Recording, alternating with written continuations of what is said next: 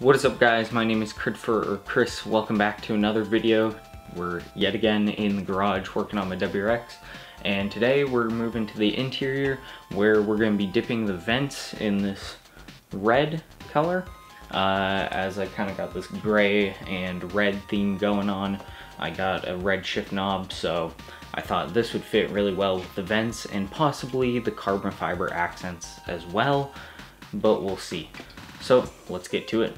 Okay, so we're in the driver's side of the car and this is the vent I'm talking about. We're gonna be dipping this silver part right here. Uh, we also got two more uh, right above the infotainment screen and then one on the passenger side. So we're gonna start with this one. Um, this seems to be the hardest to take out, so we might as well start with this one. Um, and also right here, this is the carbon fiber trim I was talking about. I don't know how well you can see it. I'll probably zoom up on it um, to show you guys what I mean. But it's just this carbon fiber trim. It's not real carbon fiber and so you have to take this out anyways to get both of these out. So I've considered dipping this red as well.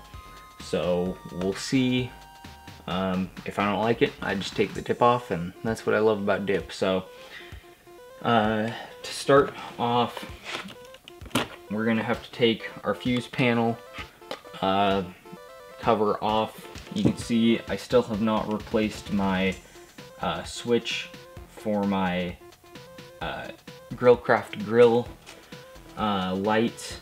So that should be coming soon.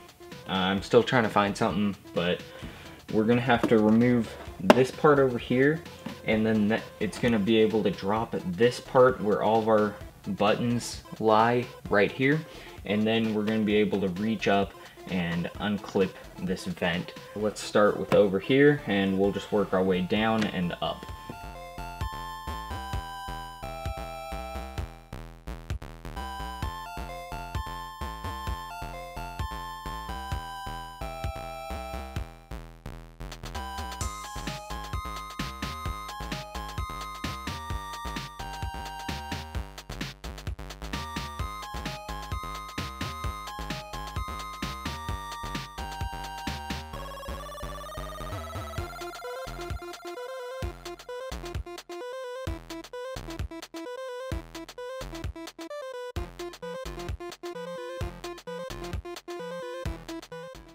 So we're gonna have to remove this little screw right in here.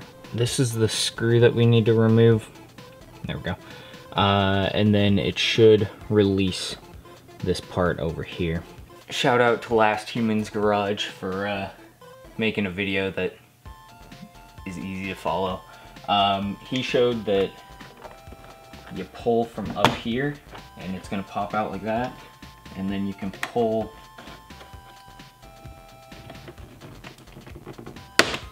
right there. And it comes out. Perfect.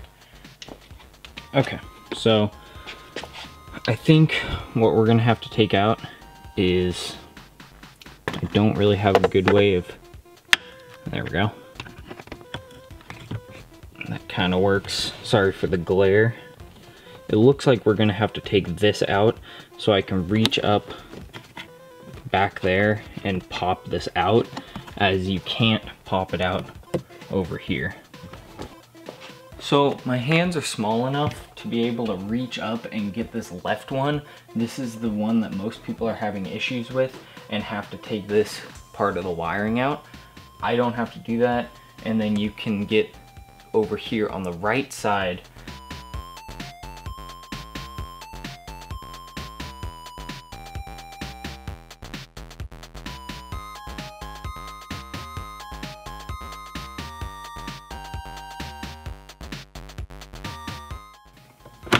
Okay, so that's actually really easy. I just wasn't pulling up hard enough or high enough really. So here it is. I'm gonna get a light. So here it is. These are the tabs that you have to push up and you have to push them up really high like this. I don't know how well you can see that. You have to pull them up like this and pull out at the same time. Um, but yeah, they come out super easily. That was a super easy job. Okay, so I've been doing a little work off camera and I was able to separate these. This comes out pretty easily as long as you have um, several smaller flathead screwdrivers. So it's gonna loosely, just gonna place it like that. So there are gonna be these little clips in here and you're just gonna have to get a flathead over them and then kind of pull like this and push at the same time. You're gonna do that for all four here. These side ones come out super easily. You can just lift them with your finger. I started with this top piece and then I moved down to this bottom piece where there are two more like the middle ones on the top.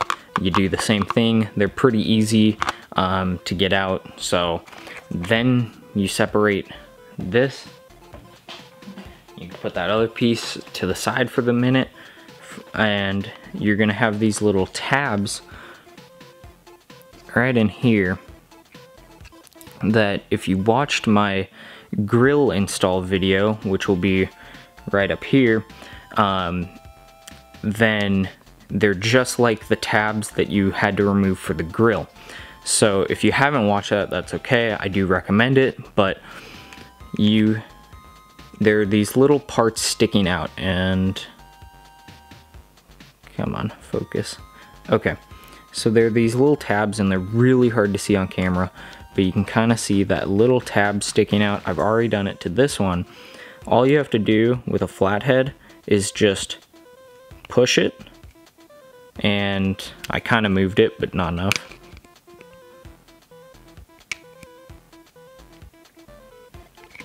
there we go it doesn't make any snapping sound or anything, you just have to watch it.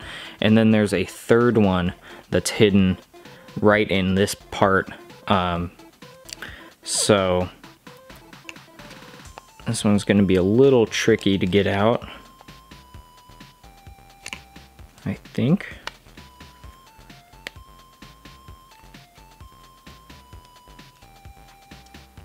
This middle one's not quite out. There we go. Okay, and this last one's not quite out yet either.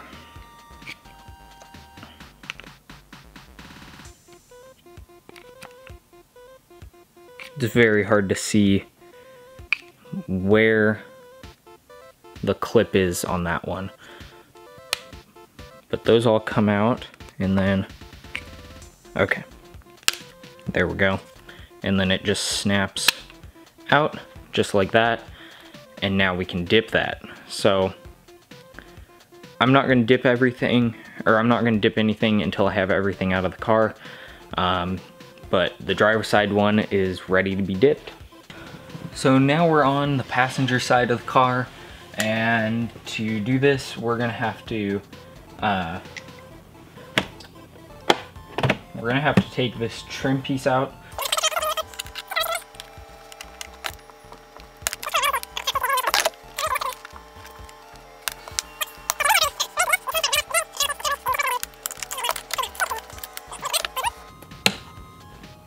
Okay, look at that.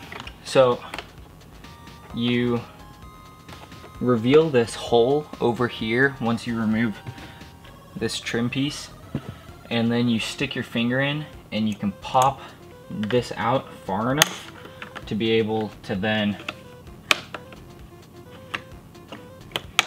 pop this out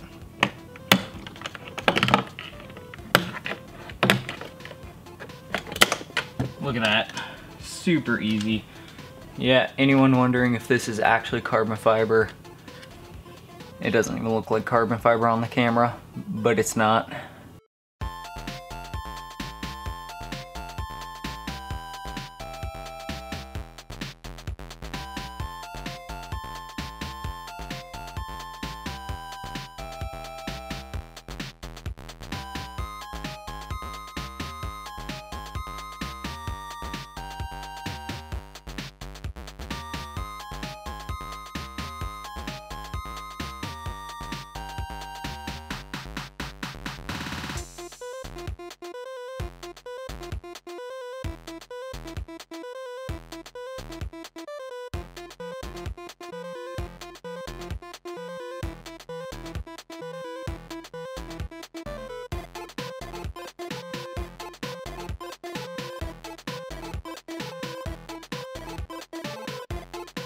So the mic was off, but this was easy to get out. I actually pulled it up too high, or I pulled the right clip up too high. Um, but yeah, that was easy to get out. So um, we can actually put this all back together on both sides. Okay, so I've been working off camera to get the center trim piece off just so I could get to working on the um, just so I could get to working on the uh, dipping. But anyways this is super easy to do. I'm gonna just kind of show you. Um, you're gonna want one of these really big ones. And when it's in here I'm sorry this is super dirty because for the longest time I wasn't wearing gloves and I was working in here. Um, but pretty much you're gonna bring it in like this and you're just gonna do this until it kind of bulges out to the sides and then you're gonna get your little tool that we've been using the rest of the time to pretty much I'm gonna show you on this side to pretty much just dig in here and slowly pop out and then it's gonna pop out a little bit and you can just pull it out. Be careful not to pull it too far as the hazards will be connected. So if you have a 2015, I think you have a different radio. Um, that doesn't come out. This infotainment screen doesn't come out, so don't worry about that. You're not gonna break anything. Um, so uh, again, I'm just gonna do this off camera. Um, and we can continue dipping. Okay, so here's the middle part. I already got one of the vents out. It's pretty easy and pretty similar to what you did on both the driver side and passenger side, but it is a little different. And so you're gonna have to kind of manhandle it. So get your flathead again, and I would recommend starting on this bottom part. It seems to make it much easier.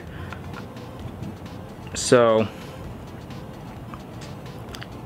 Honestly, the first one's kind of the hardest, but you just kind of get it until it comes out. And there you go. That's pretty easy. And then for the top, there are three, or sorry, there's really two that you need to get out, and the third one's in the middle, but I didn't even have to do anything to it. It just kind of came out.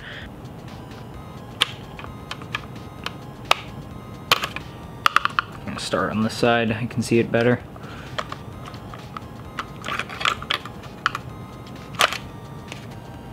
I think that's out. It's not. Sorry that you can't see this super well. There we go.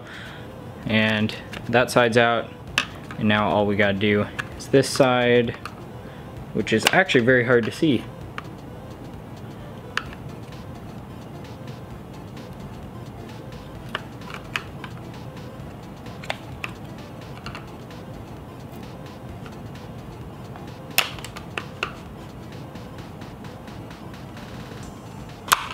There we go. And it just slides out. Now you will see that this isn't, this doesn't have the trim piece on it. This actually does. Ooh, almost dropped that. All right, so it, this still holds onto this and this is super simple. There's gonna be a tab right here and a tab right down here so you're just gonna take your flathead like the rest of them and boom, it kind of comes up and then you're gonna do it with this one. And there you go. It just comes out. Now you're able to dip them. So we're gonna put all these to the side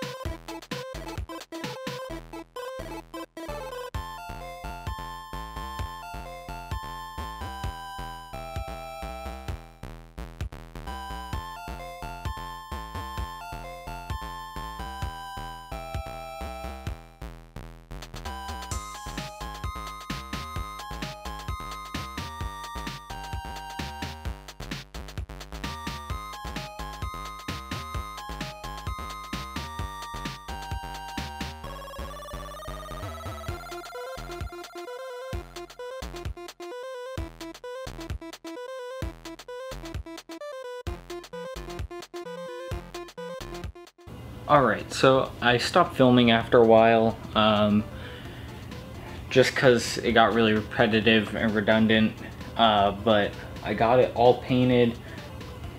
Everything looks really, really good. Uh, it looks kind of orange actually on the camera, I'm not sure why. Yeah, I think it's the lighting in here. Um, but here's that piece. The piece that I thought I was gonna have to redo because it was just kind of my test dummy. So everything's now done. Um, so I'm gonna put it back in. I even got the like top here, this little piece I got up there and around there. You know, what I really like about dip is if I choose, I don't like this in a couple of days or a couple months or whatever, I just peel this off, I clean it, call it a day. And that's what I really like about it. I did get all over my hand. It's now off, but it was like I gave myself a Brazilian wax right here. Like that shit hurt, dude. Pulling, pulling all that dip off. Um, so I'm gonna get everything together. It's gonna match my mud flaps. It's gonna uh, match my shift knob. It's just gonna look really, really good. This is actually very similar to my mud flap. If we turn you around here, um, I'll show you how similar it looks. All right, so here's this little trim piece for the driver side. Let me move the tripod, there we go. So my mud flap is kind of dirty, so not the best comparison, but it's pretty similar. It's not quite the shift knob red that I have, but this is very Rokblokz red type of color, so it does look very good. Now, I didn't explain how to get this piece out. Um, what you want to do is if it's sitting like this, it's going to be sitting like this in the car. You're want to push this part in and it's to release so it is like this and then all you're gonna have to do is just push up on this and you can pull out it may even fall out I don't know I did have to kind of pull it out but anyways let's get this piece in first and then we can put the rest of this interior back together. That's why this is still apart and everything else is pretty much back together. Oh yeah, that actually looks really good. Damn. Alright, I'm really glad I did that. That looks really, really good. I I really dig that. That's gonna look so good with all the accent colors on the vent. This, yeah, man, I'm digging that. That looks so good.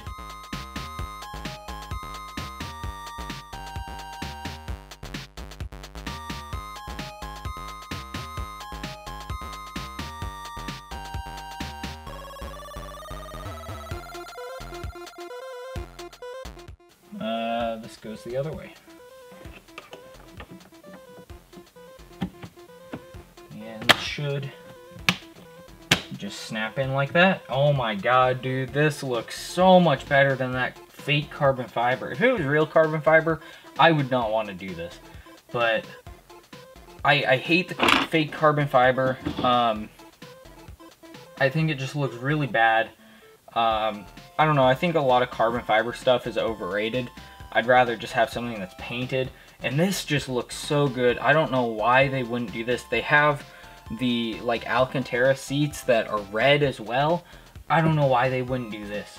Or at least have this as an option because this looks really good and it actually looks very good with my shift knob right here which you can see this is a Billetworkz uh, custom shift knob that's their short teardrop design with the uh, Japanese lettering and it has an STI logo on it because why not? Okay, so I just got all the vents all together and look at that. Those look so much better than stock. If, if you're wondering if you should do this, absolutely. This looks so good. And I, I'm so excited to get them in the car. So let's do it. Okay, so here is the driver side one. Oh man, that looks so good. If only we could do this little silver trim right in here, but I don't know how to get that out.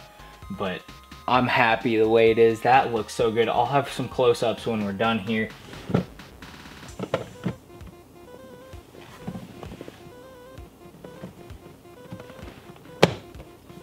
Oh man, that just looks so good.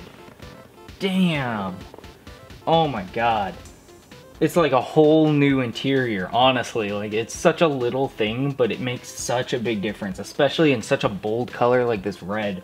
I just, I love that red strip running across versus the carbon fiber. The carbon fiber, honestly, was so bland. Okay, and the very final thing to go on, we do have to connect our hazards, our little screen button here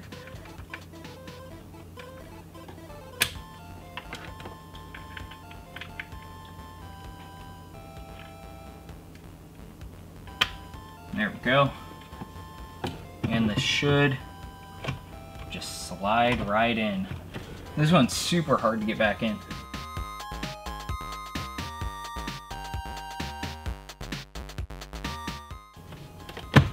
There we go. And now it's in.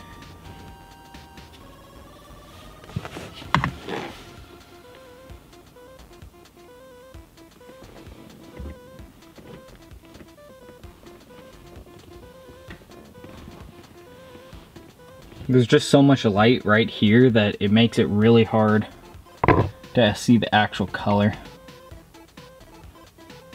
Yeah. It looks it looks so awesome. That's my favorite part right there, that stripe. You know, I was so unsure about doing this at first, and now I'm so happy I did it, because this looks so cool. Oh man, I'm so happy with the results. A cheap $5 mod, three hours of your time, and it's gonna change the interior of your car. So I definitely recommend doing this. Definitely, definitely worth it in my book. So anyways, thank you all for watching. Be sure to subscribe down below, leave a like, and share this with your friends. Peace, guys.